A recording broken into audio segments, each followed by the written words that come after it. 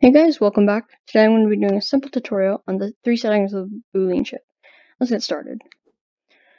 To get your to get the Boolean chip out, you're in your maker pen, open palette,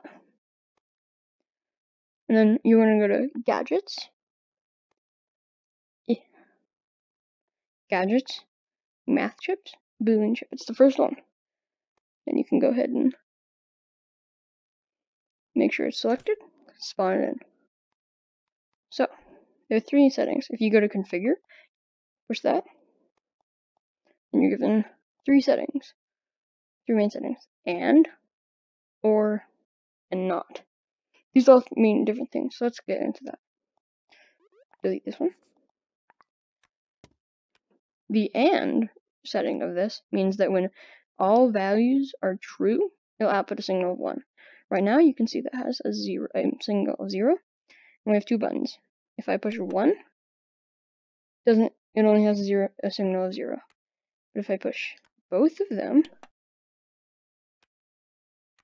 push both of them, we get a 1. If I only push 1, 0, 1. So the AND chip work, the AND works. OR is a bit similar, but it will only give a signal. It, it, it will give a signal if both of them are true, but to be true, it only needs one of the inputs to be true. So we just push one of them, it's a one. Push both of them, still gets a one. The not chip is pretty simple. If the if there is the signal is false, the output will be true. Signal is true, the output is false. So I'm not pushing the button right now, I'm gonna get a one. If I hold down the button, it is zero.